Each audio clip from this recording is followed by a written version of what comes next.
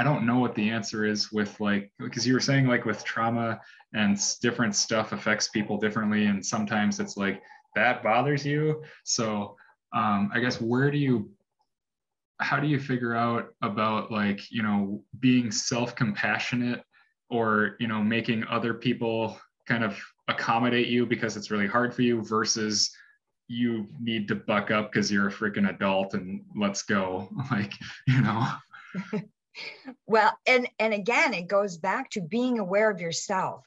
What are your intentions?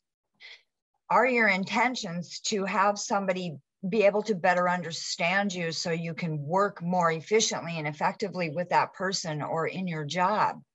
That's a far different intention from i need you i need you to accommodate me. I'm not going to pay much attention to what you may need because this is about me or when i draw attention to myself to to say you know what i need you to take care of me I'm manipulating this so I don't have to do these things. I'm taking the easy way out.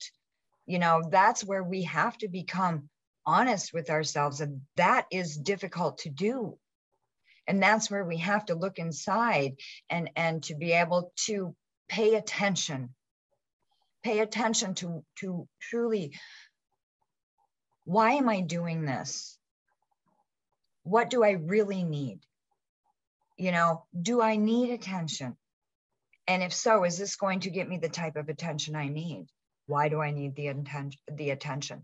It's it's to always question the self, to always look at yourself and and to say, what are my intentions? What are my motivations?